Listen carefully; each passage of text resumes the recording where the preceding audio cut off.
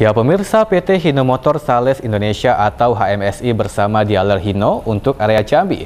PT Indah Motor menggelar event Customer Gathering Euro sebagai perkenalan langsung truk Hino dengan standar mesin emisi Euro kepada customer.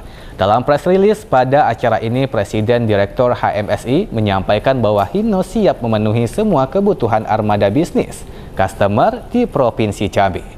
Informasi ini sekaligus menutup perjumpaan kita kali ini. Pemirsa saat ini Jack TV sudah beralih ke siaran digital dan Jack TV dapat dinikmati menggunakan televisi lama dengan menambahkan set-top box.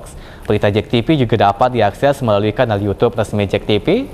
Akhir kata, saya Muhammad Raidil pamit undur diri tetap jaga protokol kesehatan. Selamat siang, selamat beraktivitas Jack TV Inspirasi Kita.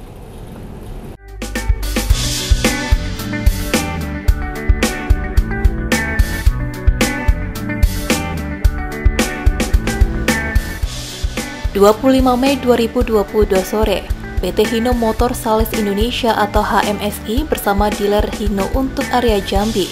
PT Indah Motor menggelar event Customer Gathering Euro 4 sebagai perkenalan langsung truk Hino dengan standar mesin emisi Euro kepada customer.